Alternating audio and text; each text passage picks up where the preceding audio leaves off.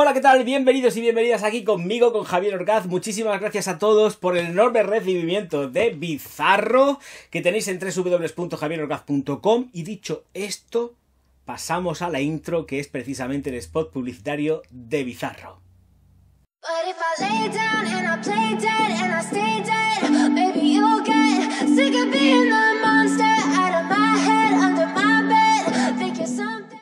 Quieto parado, recordad suscribiros al canal, darle a like, distribuir los vídeos del Orgaz por todas las redes sociales, porque si no, maldición orgázmica. Bueno, señoras y señores, eh, a ver, ¿por dónde ataco? Es que estoy buscando, sí, estoy buscando la botella y la caja. Digo, tengo la caja, la botella sí la tenía controlada, pero la caja digo, no sé dónde la he dejado. Bueno, pues, at the barber. Eh, de los señor, del señor Mangriela o Manguiela. Es que Margiela, Margiela, Margiela, Margiela, Margiela, señoras y señores, Margiela. Bueno, pues eh, At the Barbers, aquí está la caja, aquí está la botella. Mientras tanto, evidentemente, pues toca lo que toca, que es, por supuesto, una aproximación, es una caja al uso, sin ningún tipo de historias, ni de follones, ni de nada. Y luego nos vamos a encontrar, pues sí, la botella que lleva una etiqueta en textil Em, y eh, una corona alrededor de lo que sería el embellecedor del vaporizador de esta At the Barber y eh, bueno pues la vaporización y la atomización pues es correcta. No son las mejores del universo. Yo he tenido un par de problemas con las Margiela y eh, bueno pues mm, van bien van bien, no son un 10, no son un 8, son un 6 posiblemente en mi rango de gustos personales, eh, porque como ya he tenido un par de sustos con ellas, pero bueno, al final pues te la cogen te la devuelven, porque si el vaporizador está mal, te la devuelven. Vamos, faltaba más.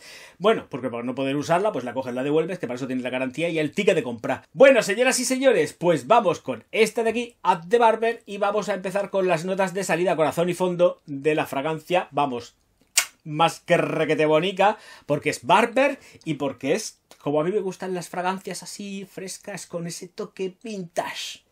Salida en naranja, albahaca y pimienta negra. Romero, geranio y lavanda en el corazón. Musgo, cuero, abatonca y almizcle en la base. En el fondo. del pozo. Bueno, señoras y señores, una fragancia que es eh, delicada, tanto en cuanto dura, eh, estamos hablando de concentración o de toilette, y tenemos una duración aproximada de 8 horas. Entre medio, reaplicación sí o sí. Esto no es discutible. No, el orgaz no admite discusión, discusión con esto. Tengo la, boca seca. El orgaz no, admite discusión con esto.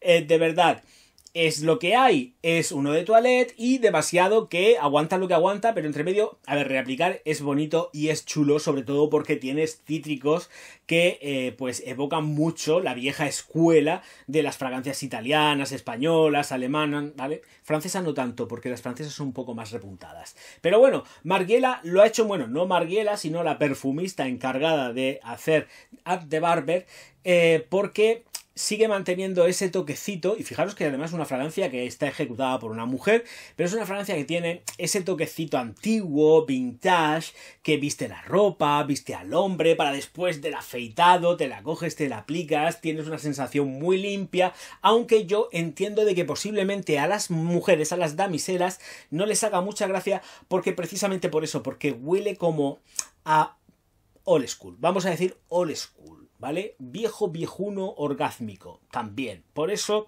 a las mujeres igual no les hace mucha gracia porque está tirando, no, está tirando, no, tira donde tira, que es vieja escuela y nada de dulzores y aquí está el hombre. Vuelve el hombre. Pues así, este sería el eslogan de At the Barber.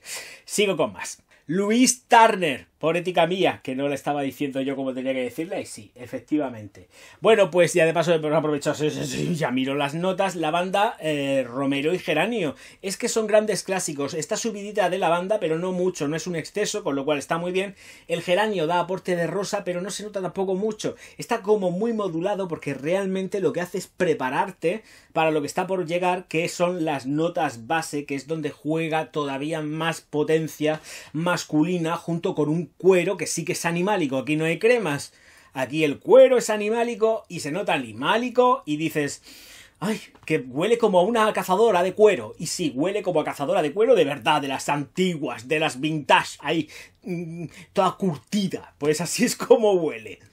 Y, por supuesto, vamos a ver, musgo de roble. Súper subida de musgo de roble. No me la he aplicado y esto hay que aplicárselo, señoras y señores. Vamos, homenaje, homenaje. Voy a quitarme esto, porque así tan cerradito no puedo echármela yo en el pechamen. Y a mí me gusta echármela en mi pechamen. Hombre, está bien. A ver si quito el botón. Estoy torpe, estoy muy torpe. ¡Hala! Ya está, ya soy feliz. Bueno, pues mientras que me cierro el botón de nuevo, os tengo que decir que efectivamente el musgo de roble es muy protagonista junto con el cuero de esta fragancia en la base, en el fondo. Allí que está atizando la muchacha, dándolo todo. Perdonad los ruidicos, pero es que le da un cable y es lo que hay. Y el musgo de roble está y se nota. Es un musgo de roble que está muy depurado, pero ahí está, ¿eh? Este sí que no se oculta. Este está ahí, haciéndole compañía al cuero y diciéndole, vamos aquí los dos junticos de la mano para vestir a este pedazo de tío. Y ya está, y no hay más. Vuelvo a repetir, es sí que eh, la duración eh, es necesario coger y reaplicar, pero la vuelve muy gustosa. Es una fragancia que sí que tiene edad. Aquí sí que, mira, me voy a mojar de verdad a tope, porque creo que es a partir de 30 años, 35 cuando esta At the Barber va a dar mucha más eh, consistencia y solidez masculina. Eh, en un chico joven me va a chirriar. La verdad es que me va a chirriar, tengo que ser muy franco, bastante. Y por lo demás, creo que solamente es una fragancia de mañanas y de tardes. Por la noche no, porque eh, le falta punch, ¿vale? Estamos hablando de uno de toilette que sí que puede rendir muy bien, pues esas 8 o 9 horas, pero que entre medio hay que reaplicar sí o sí. Y esto entra en detrimento de lo que es la fragancia. Sobre todo, y no nos engañemos, porque también estoy pensando en precio, porque están subidas de precio. Entonces dices, jolín, hago una inversión, me gasto un dinero y tengo que reaplicar. Sí, hay que reaplicar porque quien se la compra es consciente de que está comprando un eau de toilette Barber y tarde o temprano termina cayendo, ¿vale? Me refiero en cuanto a la duración. No es lo mismo. Y si estamos hablando de concentraciones o de toilette, pues hay que ser también consecuente con lo que se compra y asumirlo. Muy bonita, muy fresquilla y no del gusto de las damiselas. Tengo que decirlo, ni un solo halago. Ni uno solo. De los hombres sí, pero de las mujeres no. No, no vais a triunfar como la Coca-Cola con ella, lo siento, algún que otro halago puede caerle a alguien, pues a lo mejor, pero esto es una fragancia masculina para disfrute masculino. Olvidaros de otra cosa. Bueno, señoras y señores, que se ha terminado lo que se daba. Muchísimas gracias por estar ahí, muchas gracias por el apoyo recibido. Y efectivamente, pues si os hacéis mecenas, miembros del canal, pues mejor que mejor, porque yo podré seguir comprando perfumería para poder presentaros aquí en Javier Orgaz. Señoras y señores, me despido diciendo una cosa muy bonita en alemán y, por supuesto, mira, voy a despedirme con réplica en la mano rindiendo un homenaje a los barberos de antaño y a los modernos, que lo hacen también estupendísimamente bien. Por ti, señora Turner, que lo has hecho espectacular, qué bonita. Auf Wiedersehen, señoras y señores. Bueno, pues aquí estamos con esta At the Barbel. ¡Ay, Palper Barbel! No, At the Barber, jodín. dos, tres. Dos, tres. Bueno, señoras y señores, pues. No, no, de friki nada. Eh, él es un sabio y además lo está demostrando.